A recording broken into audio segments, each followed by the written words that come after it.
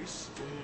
I took some food for thought, it might be poisoned. The stomach in my brain throws up onto the page. Does it bother anyone else? But someone else is your name.